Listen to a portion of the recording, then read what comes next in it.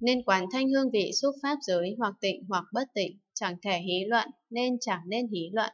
nên quán sắc giới hoặc tịch tịnh hoặc chẳng tịch tịnh, chẳng thể hí luận nên chẳng nên hí luận,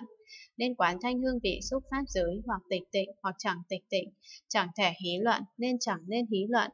nên quán sắc giới hoặc viễn ly hoặc chẳng viễn ly, chẳng thể hí luận nên chẳng nên hí luận, nên quán thanh hương vị xúc pháp giới hoặc viễn ly hoặc chẳng viễn ly, chẳng thể hí luận nên chẳng nên hí luận, nên quán sắc giới hoặc là sở biến chi hoặc chẳng phải là sở biến chi chẳng thể hí luận nên chẳng nên hí luận, nên quán thanh hương vị xúc pháp giới hoặc là sở biến chi hoặc chẳng phải là sở biến chi chẳng thể hí luận nên chẳng nên hí luận. Này thiện hiện, Đại Bồ Tát, khi hành bát nhã ba la mật đa sâu xa nên quán nhãn thức giới hoặc thường hoặc vô thường, chẳng thể hí luận nên chẳng nên hí luận, nên quán nhĩ tĩ thiệt thân ý thức giới hoặc thường hoặc vô thường, chẳng thể hí luận nên chẳng nên hí luận. Nên quán nhãn thức giới hoặc lạc hoặc khổ, chẳng thể hí luận nên chẳng nên hí luận, nên quán nhĩ tĩ thiệt thân ý thức giới hoặc lạc hoặc khổ, chẳng thể hí luận nên chẳng nên hí luận, nên quán nhãn thức giới hoặc ngã hoặc vô ngã, chẳng thể hí luận, nên chẳng nên hí luận. Nên quán nhĩ tĩ thiệt thân ý thức giới, hoặc ngã hoặc vô ngã, chẳng thể hí luận, nên chẳng nên hí luận. Nên quán nhãn thức giới, hoặc tịnh hoặc bất tịnh, chẳng thể hí luận, nên chẳng nên hí luận. Nên quán nhĩ tĩ thiệt thân ý thức giới, hoặc tịnh hoặc bất tịnh, chẳng thể hí luận, nên chẳng nên hí luận. Nên quán nhãn thức giới, hoặc tịch tịnh hoặc chẳng tịch tịnh, chẳng thể hí luận, nên chẳng nên hí luận nên quán nhĩ tĩ thiệt thân ý thức giới hoặc tịch tịnh hoặc chẳng tịch tịnh, chẳng thể hí luận nên chẳng nên hí luận, nên quán nhãn thức giới hoặc viễn ly hoặc chẳng viễn ly, chẳng thể hí luận nên chẳng nên hí luận, nên quán nhĩ tĩ thiệt thân ý thức giới hoặc viễn ly hoặc chẳng viễn ly, chẳng thể hí luận nên chẳng nên hí luận, nên quán nhãn thức giới hoặc là sở biến chi hoặc chẳng phải là sở biến chi chẳng thể hí luận nên chẳng nên hí luận,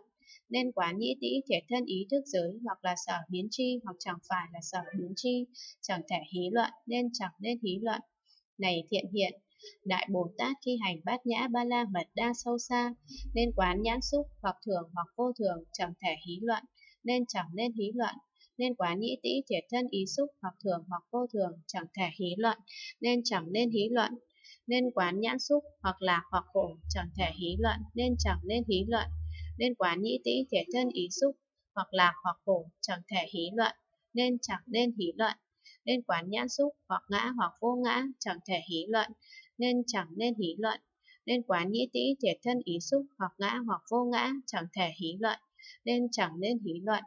nên quán nhãn xúc, hoặc tịnh hoặc bất tịnh, chẳng thể hí luận, nên chẳng nên hí luận, nên quán nhĩ tĩ thể thân ý xúc, hoặc tịnh hoặc bất tịnh, chẳng thể hí luận, nên chẳng nên hí luận nên quán nhãn xúc hoặc tịch tịnh hoặc chẳng tịch tịnh, chẳng thể hí luận nên chẳng nên hí luận, nên quán nhi tý thiệt thân ý xúc hoặc tịch tịnh hoặc chẳng tịch tịnh, chẳng thể hí luận nên chẳng nên hí luận, nên quán nhãn xúc hoặc viễn ly hoặc chẳng viễn ly, chẳng thể hí luận nên chẳng nên hí luận, nên quán nhĩ tĩ thể thân ý xúc hoặc viễn ly hoặc chẳng viễn ly, chẳng thể hí luận nên chẳng nên hí luận, nên quán nhãn xúc hoặc là sở biến tri hoặc chẳng phải là sở biến tri, chẳng thể hí luận nên chẳng nên hí luận, nên quán nhĩ tĩ thể thân ý xúc hoặc là sở biến tri hoặc chẳng phải là sở biến tri, chẳng thể hí luận nên chẳng nên hí luận. Này thiện hiện Đại Bồ Tát khi hành bát nhã ba la mật đa sâu xa, nên quán các thọ do nhãn xúc đảm duyên sanh ra hoặc thường hoặc vô thường, chẳng thể hí luận nên chẳng nên hí luận nên quán các thọ do nhĩ tĩ thể thân ý xúc làm duyên sanh ra, hoặc thường hoặc vô thường, chẳng thể hí luận, nên chẳng nên hí luận. Nên quán các thọ do nhãn xúc làm duyên sanh ra hoặc lạc hoặc khổ, chẳng thể hí luận, nên chẳng nên hí luận. Nên quán các thọ do nhĩ tĩ thể thân ý xúc làm duyên sanh ra hoặc lạc hoặc khổ, chẳng thể hí luận, nên chẳng nên hí luận. Nên quán các thọ do nhãn xúc làm duyên sanh ra hoặc ngã hoặc vô ngã, chẳng thể hí luận nên chẳng nên hí luận. Nên quán các thọ do nhĩ tĩ thể thân ý xúc làm duyên sinh ra hoặc ngã hoặc vô ngã, chẳng thể hí luận nên chẳng nên hí luận. Nên quán các thọ do nhãn xúc làm duyên sanh ra hoặc tịnh hoặc bất tịnh, chẳng thể hí luận nên chẳng nên hí luận. Nên quán các thọ do nhĩ tý thể thân ý xúc làm duyên sanh ra hoặc tịnh hoặc bất tịnh, chẳng thể hí luận nên chẳng nên hí luận. nên quán các thọ do nhãn xúc làm duyên sanh ra hoặc tịch tịnh hoặc chẳng tịch tịnh, chẳng thể hí luận nên chẳng nên hí luận. Nên quán các thọ do nhĩ tĩ thể thân ý xúc làm duyên sanh ra hoặc tịch tịnh hoặc chẳng tịch tịnh, chẳng thể hí luận nên chẳng nên hí luận. Nên quán các thọ do nhãn xúc làm duyên sanh ra hoặc viễn ly hoặc chẳng viễn ly, chẳng thể hí luận nên chẳng nên hí luận nên quán các thọ do nhĩ tĩ thiệt thân ý xúc làm duyên sanh ra, hoặc viễn ly hoặc chẳng viễn ly, chẳng thể hí luận, nên chẳng nên hí luận. Nên quán các thọ do nhãn xúc làm duyên sanh ra, hoặc là sở biến chi hoặc chẳng phải là sở biến chi, chẳng thể hí luận, nên chẳng nên hí luận, nên quán các thọ do nhĩ tĩ thiệt thân ý xúc làm duyên sanh ra, hoặc là sở biến chi hoặc chẳng phải là sở biến chi, chẳng thể hí luận, nên chẳng nên hí luận, này thiện hiện Đại Bồ Tát khi hành bát nhã ba la mật đa sâu xa, nên quán địa giới hoặc thường hoặc vô thường, chẳng thể hí luận, nên chẳng nên hí luận, nên quán thủy hỏa phong không thức giới hoặc thường hoặc vô thường, chẳng thể hí luận, nên chẳng nên hí luận, nên quán địa giới hoặc lạc hoặc khổm chẳng thể hí luận, nên chẳng nên hí luận, nên quán thủy hỏa không không thức giới hoặc lạc hoặc khổm chẳng thể hí luận, nên chẳng nên hí luận, nên quán địa giới hoặc ngã hoặc vô ngã chẳng thể hí luận, nên chẳng nên hí luận, nên quán thủy hỏa phong không thức giới hoặc ngã hoặc vô ngã chẳng thể hí luận, nên chẳng nên hí luận, nên quán địa giới hoặc tịnh hoặc bất tịnh chẳng thể hí luận, nên chẳng nên hí luận, nên quán thủy hỏa phong không thức giới hoặc tịnh hoặc bất tịnh chẳng thể hí luận, nên chẳng nên hí luận, nên quán địa giới hoặc tịch tịnh hoặc chẳng tịch tịnh chẳng thể hí luận, nên chẳng nên hí luận, nên quán thủy hỏa phong không thức giới, hoặc tịch tịnh hoặc chẳng tịch tịnh, chẳng thể hí luận, nên chẳng nên hí luận.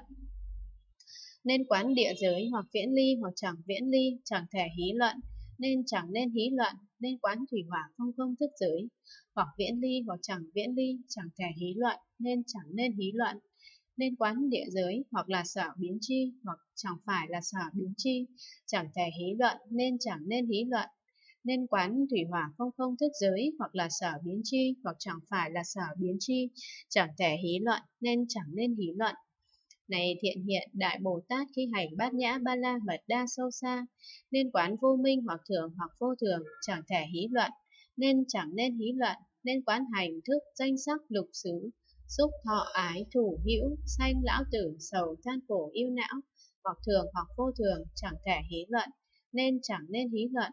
nên quán vô minh hoặc là hoặc khổ chẳng thể hí luận, nên chẳng nên hí luận, nên quán hành cho đến lão tử sầu than khổ yêu não hoặc là hoặc khổ, chẳng thể hí luận, nên chẳng nên hí luận.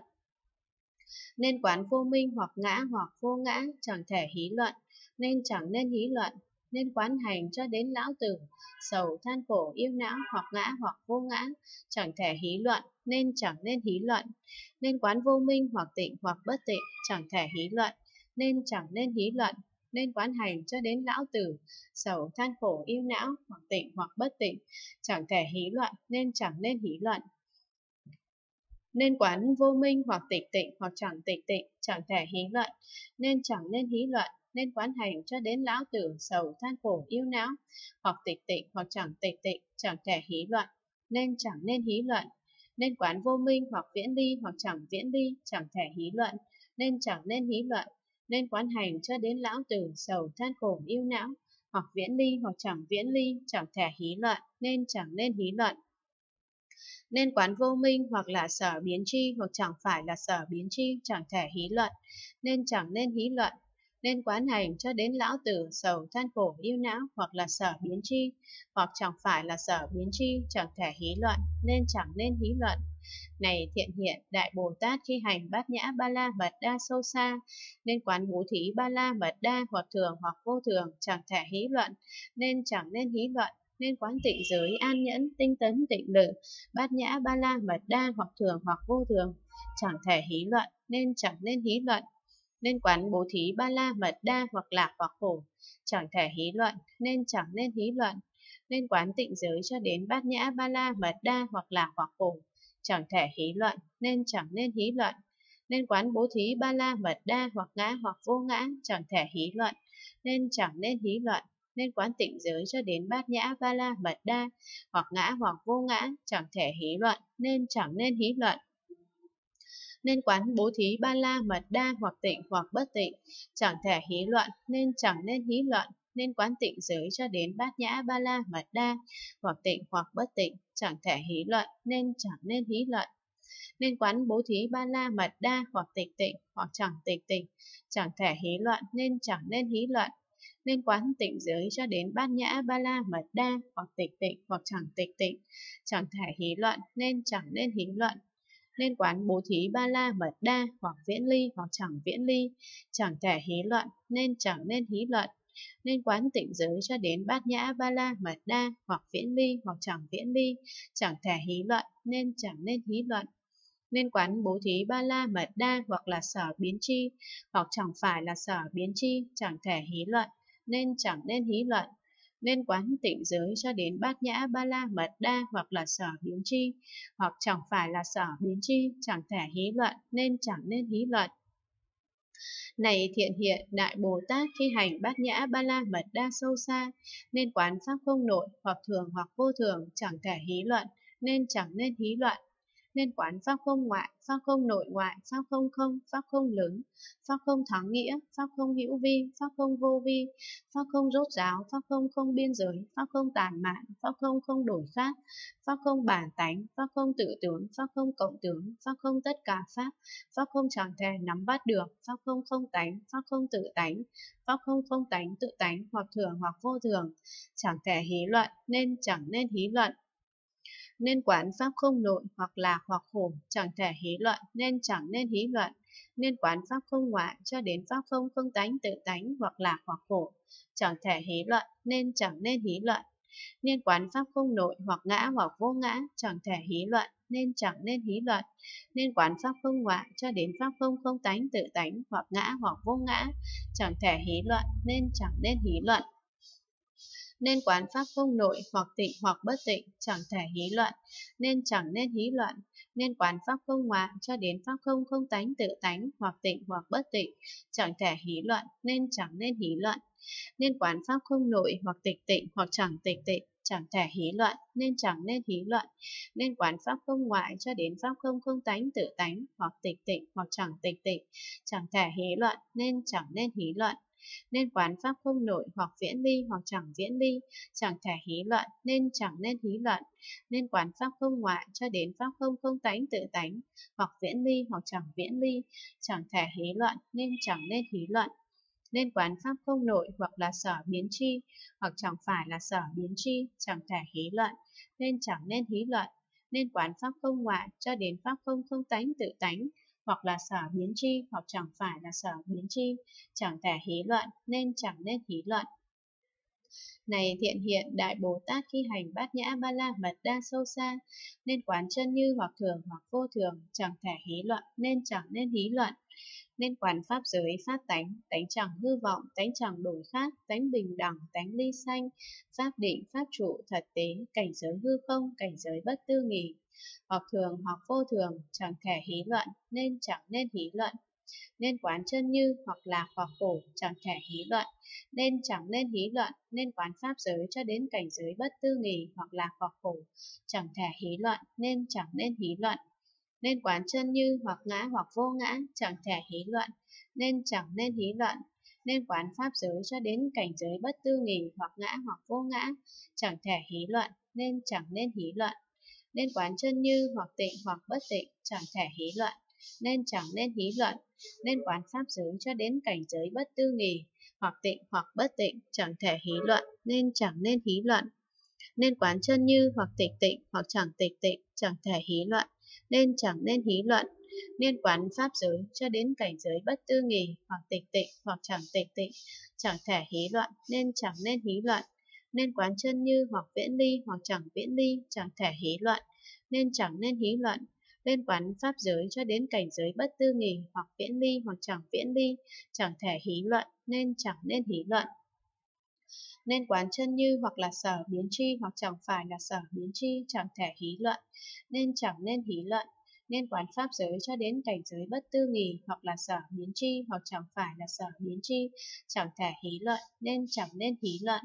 Này thiện hiện Đại Bồ Tát thi hành bát nhã ba la mật đa sâu xa, nên quán bốn niệm trụ hoặc thường hoặc vô thường chẳng thể hí luận nên chẳng nên hí luận nên quán bốn chánh đoạn, bốn thần túc, năm căn, năm lực, bảy chi đẳng giác, tám chi thánh đạo, hoặc thường hoặc vô thường, chẳng thể hí luận, nên chẳng nên hí luận, nên quán bốn niệm trụ hoặc lạc hoặc phủ, chẳng thể hí luận, nên chẳng nên hí luận, nên quán bốn chánh đoạn cho đến tám chi thánh đạo hoặc lạc hoặc phủ, chẳng thể hí luận, nên chẳng nên hí luận,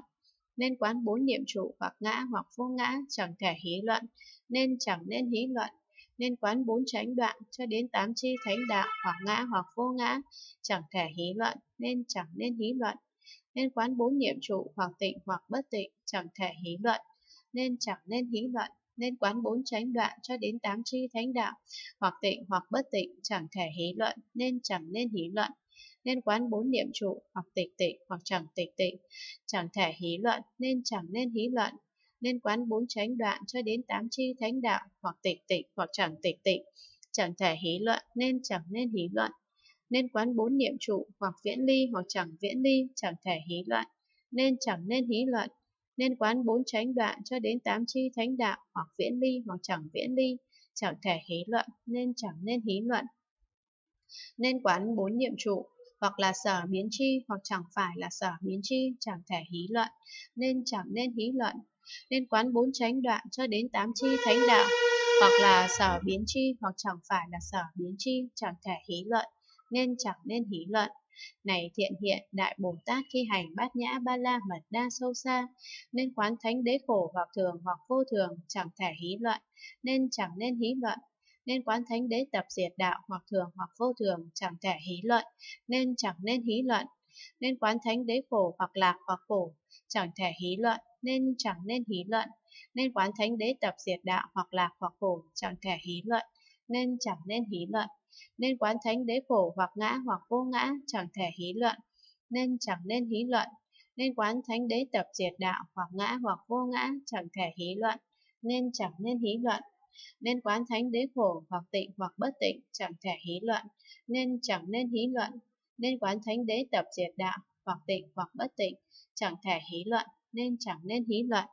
nên quán thánh đế khổ hoặc tịch tịnh hoặc chẳng tịch tịnh, chẳng thể hí luận, nên chẳng nên hí luận, nên quán thánh đế tập diệt đạo hoặc tịch tịnh hoặc chẳng tịch tịnh, chẳng thể hí luận, nên chẳng nên hí luận, nên quán thánh đế khổ hoặc viễn ly hoặc chẳng viễn ly, chẳng thể hí luận, nên chẳng nên hí luận, nên quán thánh đế tập diệt đạo hoặc viễn ly hoặc chẳng viễn ly, chẳng thể hí luận, nên chẳng nên hí luận, nên quán thánh đế khổ hoặc là sở biến chi hoặc chẳng phải là sở biến chi, chẳng thể hí luận nên chẳng nên hí luận.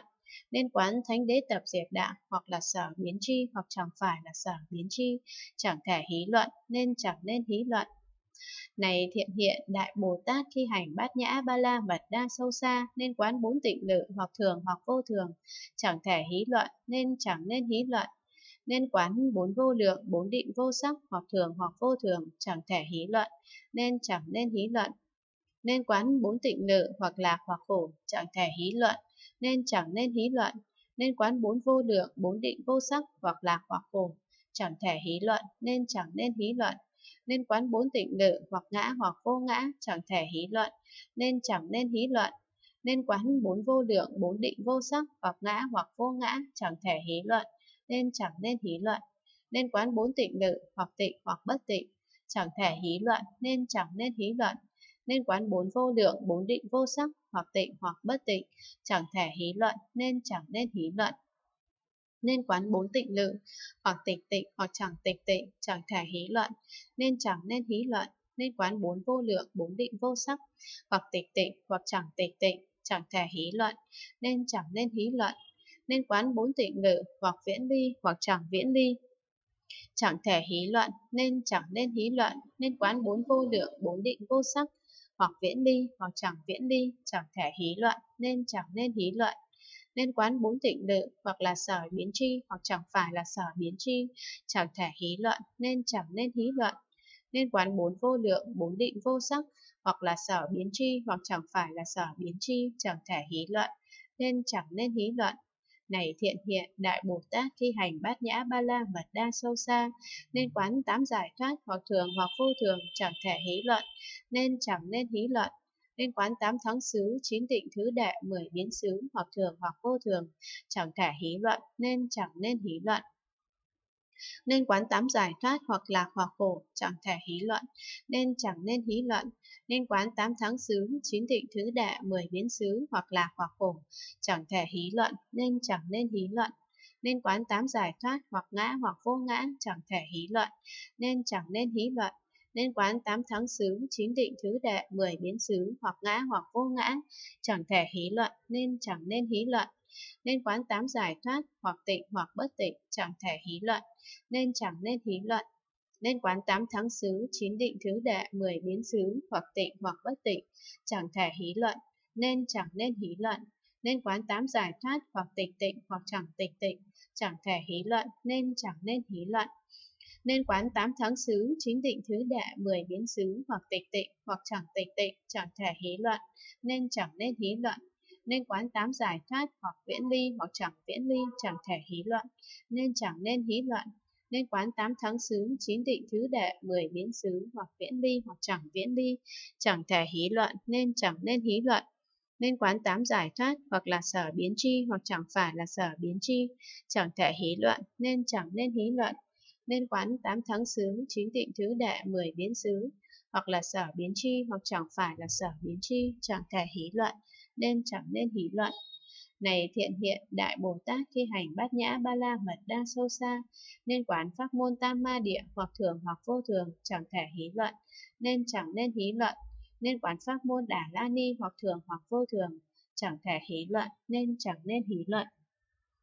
Nên quán pháp môn tam ma địa hoặc lạc hoặc khổ, chẳng thể hí luận, nên chẳng nên hí luận, nên quán pháp môn đà la ni hoặc lạc hoặc khổ, chẳng thể hí luận, nên chẳng nên hí luận. Nên quán pháp môn tam ma địa hoặc ngã hoặc vô ngã chẳng thể hí luận, nên chẳng nên hí luận. Nên quán pháp môn đà la ni hoặc ngã hoặc vô ngã chẳng thể hí luận, nên chẳng nên hí luận. Nên quán pháp môn tam ma địa hoặc tịnh hoặc bất tịnh chẳng thể hí luận, nên chẳng nên hí luận. Nên quán pháp môn đà la ni hoặc tịnh hoặc bất tịnh chẳng thể hí luận, nên chẳng nên hí luận. Nên quán pháp môn tam ma địa hoặc tịch tịnh hoặc chẳng tịch tịnh, chẳng thể hí luận, nên chẳng nên hí luận, nên quán pháp môn đà la ni, hoặc tịch tịnh hoặc chẳng tịch tịnh, chẳng thể hí luận, nên chẳng nên hí luận. Nên quán pháp môn tam ma địa hoặc viễn ly hoặc chẳng viễn ly, chẳng thể hí luận, nên chẳng nên hí luận. Nên quán pháp môn đà la ni hoặc viễn ly hoặc chẳng viễn ly, chẳng thể hí luận, nên chẳng nên hí luận nên quán pháp môn tam ma địa hoặc là sở biến chi hoặc chẳng phải là sở biến chi, chẳng thể hí luận nên chẳng nên hí luận. Nên quán pháp môn đà la ni hoặc là sở biến chi hoặc chẳng phải là sở biến chi, chẳng thể hí luận nên chẳng nên hí luận. Này thiện hiện Đại Bồ Tát khi hành bát nhã ba la mật đa sâu xa, nên quán pháp môn giải thoát không hoặc thường hoặc vô thường, chẳng thể hí luận, nên chẳng nên hí luận, nên quán pháp môn giải thoát vô tướng vô nguyện, hoặc thường hoặc vô thường, chẳng thể hí luận, nên chẳng nên hí luận. Nên quán pháp môn giải thoát không, hoặc là hoặc khổ, chẳng thể hí luận, nên chẳng nên hí luận, nên quán pháp môn giải thoát vô tướng vô nguyện, hoặc là hoặc khổ, chẳng thể hí luận, nên chẳng nên hí luận, nên quán pháp môn giải thoát không, hoặc ngã hoặc vô ngã, chẳng thể hí luận, nên chẳng nên hí luận, nên quán pháp môn giải thoát vô tướng vô nguyện, hoặc ngã hoặc vô ngã, chẳng thể hí luận, nên chẳng nên hí luận, nên quán pháp môn giải thoát không hoặc tịnh hoặc bất tịnh, chẳng thể hí luận, nên chẳng nên hí luận, nên quán pháp môn giải thoát vô tướng vô nguyện, hoặc tịnh hoặc bất tịnh, chẳng thể hí luận, nên chẳng nên hí luận, nên quán pháp môn giải thoát không hoặc tịnh tịnh hoặc chẳng tịnh tịnh, chẳng thể hí luận, nên chẳng nên hí luận, nên quán pháp môn giải thoát vô tướng vô nguyện, hoặc tịnh tịnh hoặc chẳng tịnh tịnh, chẳng thể hí luận, nên chẳng nên hí luận, nên quán pháp môn giải thoát không hoặc viễn ly hoặc chẳng viễn ly, chẳng thể hí luận, nên chẳng nên hí luận, nên quán pháp môn giải thoát vô tướng vô nguyện hoặc viễn ly hoặc chẳng viễn ly, chẳng thể hí luận nên chẳng nên hí luận, nên quán pháp môn giải thoát không, hoặc là sở biến chi hoặc chẳng phải là sở biến chi, chẳng thể hí luận, nên chẳng nên hí luận, nên quán pháp môn giải thoát vô tướng vô nguyện, hoặc là sở biến chi hoặc chẳng phải là sở biến chi, chẳng thể hí luận, nên chẳng nên hí luận. Này thiện hiện,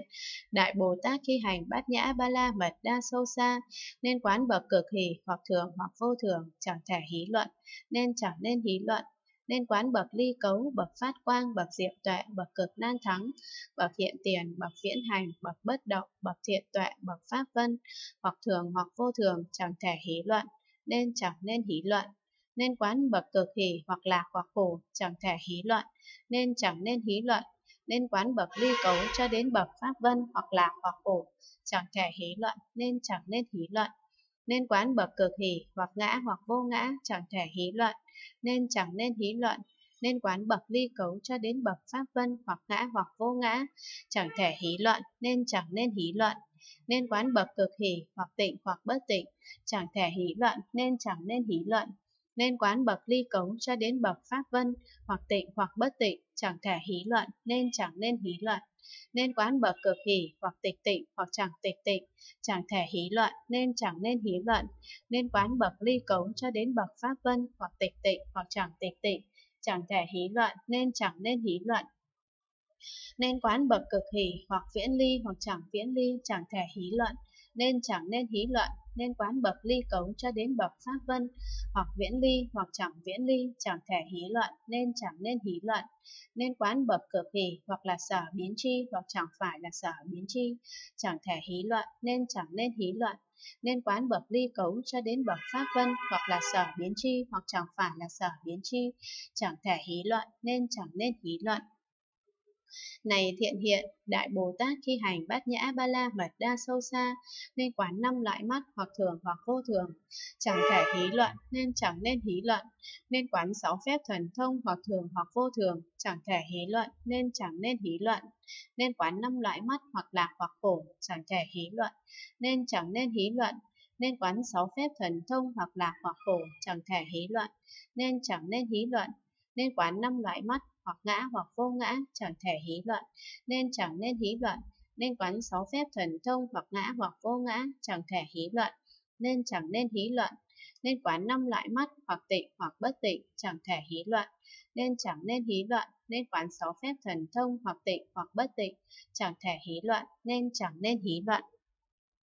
Nên quán năm loại mắt hoặc tịch tịnh hoặc chẳng tịch tịnh chẳng thể hí luận, nên chẳng nên hí luận, nên quán sáu phép thần thông, hoặc tịch tịnh hoặc chẳng tịch tịnh, chẳng thể hí luận, nên chẳng nên hí luận. Nên quán năm loại mắt, hoặc viễn ly, hoặc chẳng viễn ly, chẳng thể hí luận, nên chẳng nên hí luận. Nên quán sáu phép thần thông, hoặc viễn ly, hoặc chẳng viễn ly, chẳng thể hí luận, nên chẳng nên hí luận nên quán năm loại mắt hoặc là sở biến chi hoặc chẳng phải là sở biến chi, chẳng thể hí luận nên chẳng nên hí luận nên quán sáu phép thần thông hoặc là sở biến chi hoặc chẳng phải là sở biến chi, chẳng thể hí luận nên chẳng nên hí luận.